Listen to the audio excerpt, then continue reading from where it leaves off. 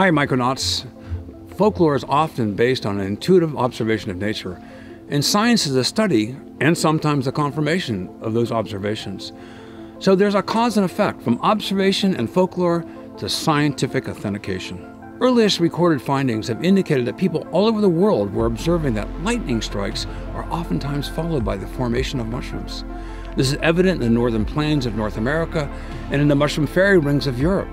Lightning bolts come down, and mushrooms will come up. And now we know actually electricity stimulates mushrooms to form. Here is something else that's most fascinating. Low frequency vibrations can actually stimulate mushroom mycelium to grow and thrive. This has been scientifically proven in the laboratory.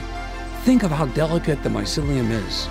There's more than eight miles of a single mycelial mat in a cubic inch of soil.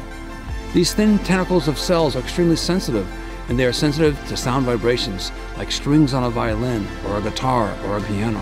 So it's been speculated that delicate mycelial networks are affected by the sounds and vibrations of human celebration. For millennia, when people come together as a community and have celebrations like births, weddings, planting crops, fall harvesting, the vibrations from the gathering of a community, playing drums, music, the congregation, the singing, the dancing, all reverberate through the ground, initiating fungal activity in the surrounding ecosystem.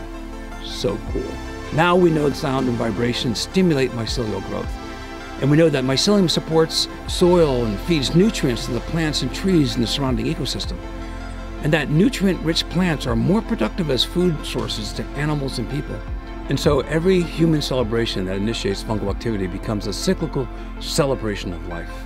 The resulting partnership between humans and mushroom mycelium is one of community, one of mutual survival.